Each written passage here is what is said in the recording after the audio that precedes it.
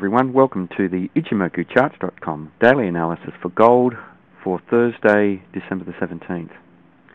Well, a very large red body candle today, and we now have a continuation of the trend in the second time frame. We have a series of lower peaks and lower troughs, and here we have a peak, a trough, a lower peak, and a lower trough as we took out the support area at uh, around 1110.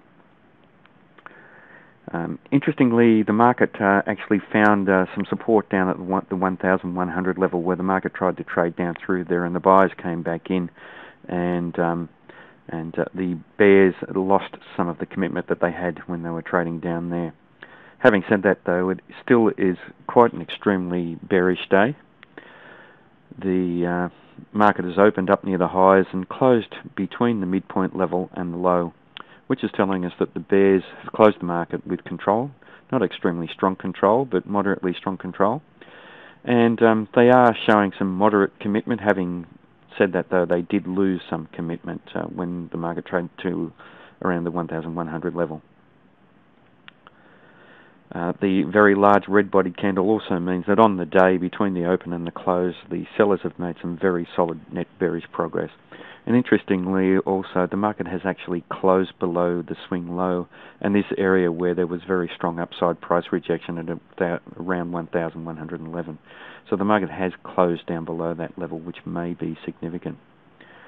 The market is trading up above the cloud or the Kumo, which means that we still have an overall positive bias, but the market is now approaching the cloud or the Kumo, and we should expect to see it hold as a potential area of support if the market does trade down to that region.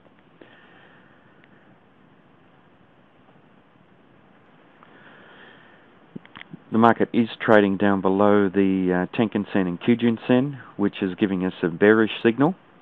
And um, uh, even though the uh, the market is uh, trading uh, up above the Kumo, it tends to uh, mean that the signal that we get from the market trading below the Kijun Sen and Tenkan Sen is not a very strong signal.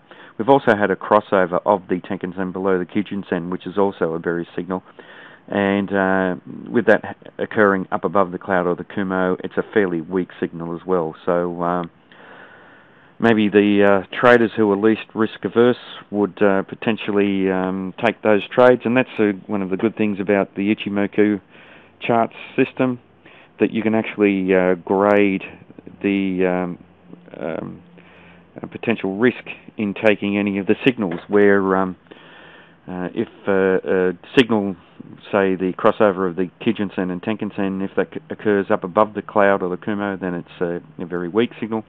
If it occurs within the cloud or the Kumo, then it's a neutral signal, and if it occurs below the cloud or the Kumo, then it's a strong signal. So, as we can see, this signal has occurred above the cloud, so it's a fairly weak signal. The problem with this is that uh, we may get one day of this uh, downtrend continuing, and the market may find support at the cloud or the Kumo. So that could limit the downside potential for this market at the moment, and especially in the uh, short uh, time frame. If the market does trade down below the cloud or the Kumo, there's certainly some solid support all the way down. And there was pre a previous area at 1,029, and certainly the round number at 1,000 if the market does trade down to there, but that's still a fair way away. Having said that, though, we need to keep an eye on the low of the current candle for the uh, downtrend to continue, and keep an eye on uh, this area here. There is still potential for the market to trade up, and uh, this was an area of uh, strong downside price rejection, so it's going to be a natural area of resistance for this market. And we can see that that market, that uh, resistance held um, on the previous day, on these days where there was um, uh, strong shadows up above the bodies of the candles and then the downside price rejection of the day of today. But if that's taken out, then there could there could be potential for the market to appreciate. Um, having said that, though, I think it's probably unlikely that that will happen. So um, the market is trending down, and it's likely that the downtrend will continue.